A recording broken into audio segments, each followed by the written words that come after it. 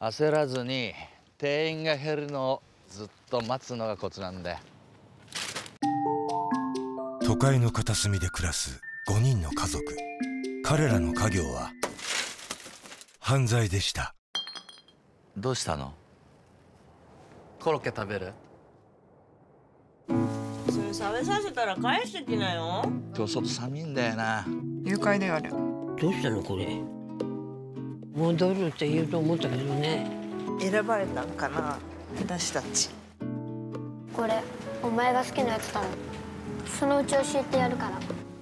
えー、めっちゃ可愛いじゃん。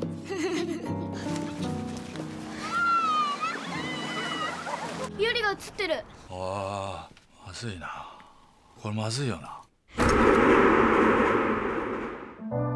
なんで行方不明になってから捜索願い出さなかったんですか？子供に万引きさせるの後ろめたくなかったですか？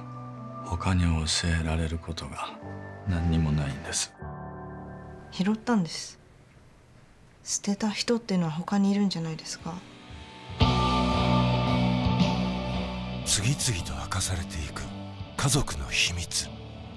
彼らが盗んだのは絆でした。これは内緒だぞ。俺たちは家族だ